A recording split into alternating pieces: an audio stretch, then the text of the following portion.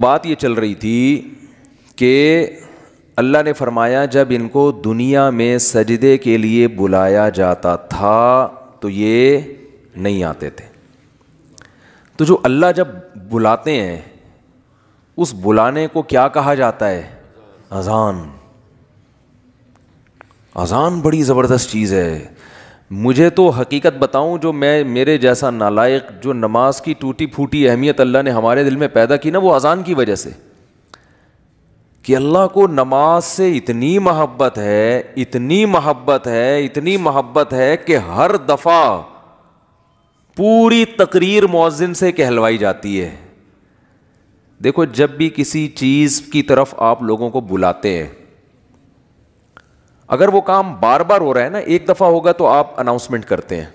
बार बार हो रहा है तो एक दफ़ा की अनाउंसमेंट काफ़ी होती है। एक दफ़ा की, जैसे आप जब, आपकी जब जॉब लगती है तो आपका बॉस आपको एक दफ़ा बता देता है कि भाई, आठ बजे से टाइम शुरू होगा और शाम चार या पाँच या आठ बजे तक आपकी, एक दफ़ा अनाउंसमेंट क्या है? बोलो ना। काफ़ी है, बस बता दिया भाई। सिग्नेचर ले लिए। कि भाई ये टाइमिंग है आप ये नौ बजे आमतौर पर दफ्तरों में नौ बजे का टाइम होता है। और गवर्नमेंट के जो दफ्तर हैं, साढ़े तीन, पौने चार बजे का टाइम होता है उसमें, शाम को। छुट्टी का टाइम चार बजे, पौने चार बजे हाज़िरी होगी और चार बजे छुट्टी। बाज़ दफ़ा तो आने का टाइम चार बजे होता है जाने का सुबह नौ बजे होता है वापस। यानी उल्टा भी चल रहा होता है।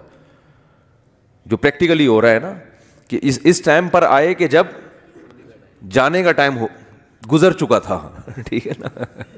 चार बजे जाने का टाइम था, पाँच बजे पहुँच रहे हैं तो गवर्नमेंट में अल्लाह का शुक्र है, बहुत सारी हमारे यहाँ सहूलतें हैं, अल्हम्दुलिल्लाह। तो तो अभी बात से बात निकलती है, छोड़ो उसको यार। हुँ? हम्म? बात तो सर्दे की चल रही थी ना। तो अल्लाह ताला ने हाँ मैं ये अर्ज़ कर रहा था कि आपको एक दफ़ा बता दिया जाता है। भाई, ये टाइम है, इस पर आ जाना। अब ये तो नहीं होता कि जब आठ बजेंगे या नौ बजे का टाइम ऑफ़िस में दिया है तो बॉस आपको फ़ोन करके बता रहा हूँ, आ जाओ टाइम हो गया है। कभी होता है ऐसे? नहीं होता ना? क्यों नहीं होता? उनको पता है खुद आएगा। इसलिए कि क्या मिलता है? साल के आखिर में रोखड़ा मिलता है। रोखड़ा मिलेगा तो सारे काम होंगे। इज़्ज़त भी मिलेगी, तरक्की होगी आपकी। देखा जाता है ना प्राइवेट इदारों में तो देखा जाता है गवर्नमेंट में देखा जाना चाहिए कि ये इसकी हाज़िरियाँ कितनी हैं और कितना किसने काम किया है कि, लिहाजा उनको मोटिवेट करने के लिए आपको बार बार अनाउंसमेंट की ज़रूरत नहीं है। बार बार अनाउंसमेंट की ज़रूरत नहीं एक दफ़ा ऐलान। दोबारा करेंगे तो आप उनको बेवकूफ़ बोलोगे यार बस सर आपने बता दिया ना नौ बजे का टाइम है बस क्या है बार बार भोंपू लेके घर पहुँच जाते हो? हैं? लाउड स्पीकर लेके मेरे दरवाजे पे खड़े हो तो नौ बज गए। ये जो शहरी जगाने वाले आते हैं ना, मुझे इनसे इसी वजह से एलर्जी है। ओ भाई, हमें पता है यार सबको जिसने रोज़ा रखना है, वो उठ जाएगा। अब वो, फिर वो जो घूमना शुरू करते हैं महल्ले पड़ोस में, एक घर का नंबर रात दो बजे आ रहा है, दूसरे का नंबर रात चार बजे आ रहा है। शहरी का टाइम चार बजे शुरू हो रहा है तो दो बजे इनको क्यों उठा रहे हो? ये तो एक, बस अजीब सी एक हिसाब किताब है। तो खैर बार बार अनाउंसमेंट नहीं की जाती बार बार याद दहानी नहीं की जाती। और अल्लाह ने भी बाकी इबादतों में ऐसे ही किया। रमज़ान के महीने के बारे में कुरान में दो आयतें हैं। फमन एक तो है, फमन शहीद अमीन को मुशहरा फल यसुम अल्लाह ने फरमाया, ईमान वालो, तुम पर रोज़े फ़र्ज़ किए गए जैसे कि तुमसे पहली उम्मतों पे फ़र्ज़ किए गए थे। वह फ़र्ज़ हो गए ना? दूसरी आयत क्या कब फ़र्ज़ हुए? शहर रमज़ान फ़ीकुरान रमज़ान का महीना है। फ़मन शहीद अमिन को मुशहर फलियसुम। जो पिछली आयत में अल्लाह ने फरमाया ना कि रोज़े फ़र्ज़ हुए तो अगली में बता दिया कौन से महीने में? रमज़ान। जो रमज़ान का महीना पाए, उसे चाहिए कि रोज़े रखे। एक दफ़ा अनाउंसमेंट हुई है, बस। उसके बाद दोबारा कुरान में अनाउंसमेंट नहीं हुई। और जब रमज़ान का महीना आता है तो फिर इस्लाम में हुक्म भी नहीं है कि याद दिलाओ। मौसिन को हुक्म के तमाम हजरात से गुजारिश है कि रमज़ान का महीना आ गया है और अल्लाह की तरफ़ से ऐलान है कि इस महीने में सब रोज़े रखो। कोई अल्लाह की तरफ़ से ऐसी अनाउंसमेंट होती है? भाई, मस्जिद के इमाम अपनी ज़िम्मेदारी पे किसी को याद दिला दें, रोज़ा रखो, तरगीब दें, वो उनका काम है। अल्लाह ने कोई लगे बंदे अल्फाज नाजिल नहीं किए। लिहाजा मस्जिद का इमाम याद ना भी दिलाए तो भी कोई गुनाहगार नहीं है। अल्लाह कहते हैं, मैंने कुरान में जब बयान कर दिया ना, बस सही है, सुन लिया, इन लोगों ने काफ़ी है। हज के बारे में एक आयत है कुरान में, जिसमें फ़र्जियत का ज़िक्र है।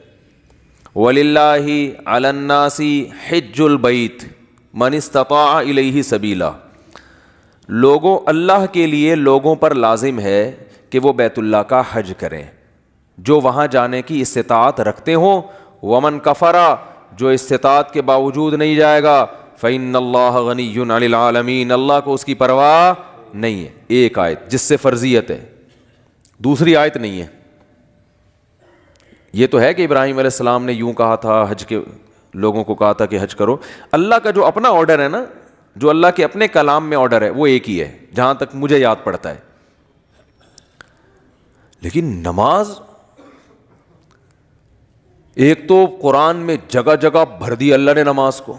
जहाँ ईमान वालों की सिफात नमाज़ पढ़ते हैं। कुरान शुरू कहाँ से हो रहा है? अल्लदीन यकीमून सलाता वमिम्मा रज़क़नाहुम युनफ़िकून। ईमान वालों का अकीदा सही होता है और अमल में क्या? नमाज़ कायम करते हैं। जहाँ अमल की बात आएगी ना, नमाज़। जहाँ जन्नतियों की सिफात आएँगी, नमाज़ और ज़क़़त। ज़क़़त भी है साथ साथ वो क्यों है? फिर किसी और मौके पर बयान करूँगा इन सबसे पहले नमाज़, फिर ज़क़़त। सबसे पहले नमाज़, फिर अल्लाह की राह में खर्च।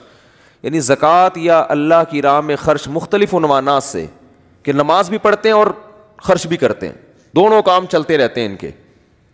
इससे पता चलता है कंजूस नमाजी अल्लाह को पसंद नहीं है। यानी नमाज़ के साथ सखावत भी है। तो लेकिन नमाज़ को पहले दर्जे पे रखा गया है। वजह क्या है इसकी? इतना फोकस क्यों किया जा रहा है? इतना ज़्यादा उसको हाईलाइट क्यों किया जा रहा है? फिर चलो, अल्लाह ने कुरान में दर्जनों जगहों पर कह दिया, नमाज़ पढ़ो। बार बार कह दिया, नमाज़ पढ़ो नमाज़ पढ़ो। इतना कहा है कि इससे ज़्यादा कोई हुक्म कुरान में मिलता ही नहीं है। चलो, इतना ज़्यादा कह दिया, अब तो बार बार अनाउंसमेंट की ज़रूरत और भी नहीं है ना? अब तो बिल्कुल ही ज़रूरत नहीं है। देखो, आपके बॉस ने आपको बुलाया, दफ्तर।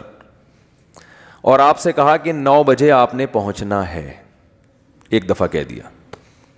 उसके बाद फिर आपको कहा, मैं दोबारा कह रहा हूँ, नौ बजे आपकी टाइमिंग शुरू हो जाती है। समझ में आ गई बात? आपने कहा आ गई फिर तीसरा कह रहा है, मैं बताऊँ कितने बजे टाइम है आपका? नौ बजे। दस दफ़ा जब कह देगा ना, नौ बजे।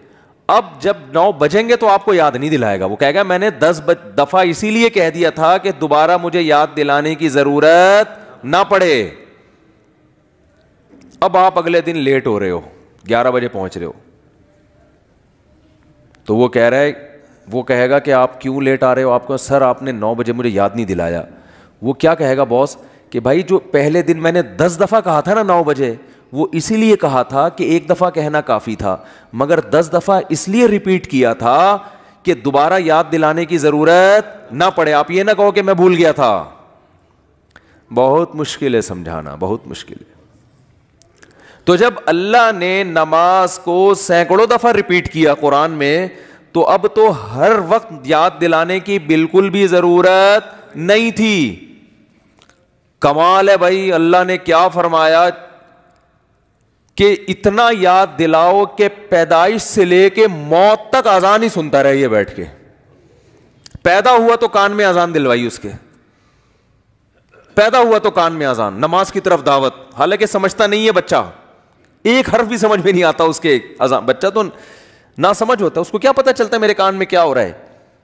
लेकिन जब बड़ा होता है ना तो उसको यह याद दिलाया जाता है कि तेरे कान में भी अजान दी गई थी, दूसरों को देखता है। तो उसको पता चलता है कि अल्लाह ने अभी से याद दिला दिया है, तू पैदा हुआ है, तुझे बताया कि नमाज़ नहीं नमाज़ नहीं छोड़नी तूने। नमाज़ नहीं छोड़नी है तूने। फिर फजर के वक्त अलग बुलाया जा रहा है, जब जोहर का टाइम आता है, अलग। अच्छा